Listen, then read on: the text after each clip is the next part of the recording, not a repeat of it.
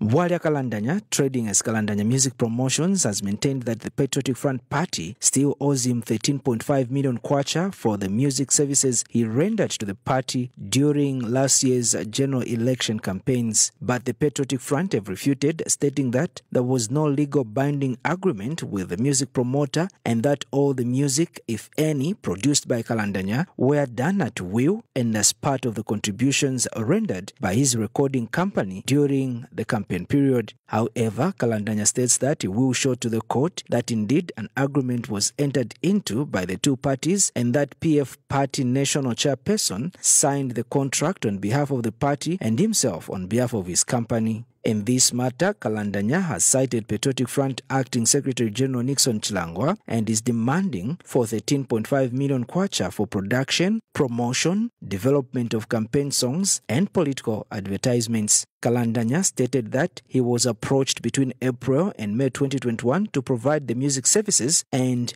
on June 12, 2021, he entered an agreement with PF through the PF national chairman. Kalandanya, however, stated that despite him providing the music services, PF have failed to pay him the agreed amount of 13.5 million kwacha during the tenure of the agreement. Kalandanya is also demanding damages for breach of contract. He says the fact that the PF did not achieve their political aspirations is of no consequence to the commercial agreement entered into with his company and that the PF party should not try and avoid contract obligations based on its own hardships.